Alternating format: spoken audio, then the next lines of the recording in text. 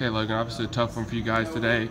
Uh, you had a couple hits. Um, what was the Nevada pitcher throwing for you guys to seem to keep the lineup off balance early? Well, honestly, he was throwing. He was trying to establish a fastball early, and he did for the most part. I mean, we, we pretty much grounded out. I think the first seven batters hit into a ground ball. So I mean, he did a good job of keeping it low in the zone. But he started to once he established fastball, he started mixing it in later in the game. I mean, we did a good job of adjusting to that and started hitting some balls well. Tried to come back towards the end. We did a good job of doing that, but we couldn't couldn't pull it off. Uh, for you, uh, moved down in the lineup a little bit. Seemed to be squaring the ball up a little bit better. Is that just seeing different pitches down there, or? Well, I mean, I've changed changed a couple things. Uh, just getting my foot down early, making sure I'm seeing the ball. That's a big thing I've changed. Make sure I'm tracking the ball all the way to the plate, and you know, seeing getting a good pitch to hit. So that's the main thing. Uh, we talked to you guys a little about just now that classes are over and focus on baseball. Right. You guys talked to maybe some of the upperclassmen about kind of how to handle that?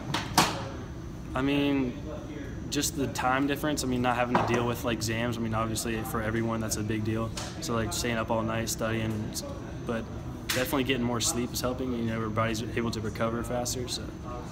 Um, how tough is it? You know, you come you're coming off exams and then have those four games in four days. I mean, it's kind of a relief to come off of exams, obviously, but I mean, playing baseball, we all love it. I mean, that's not really stressful to us, so that's kind of what we're looking forward to after exams. You know, just playing four games is what we love to do. Uh, how important is it to you guys to win the series tomorrow?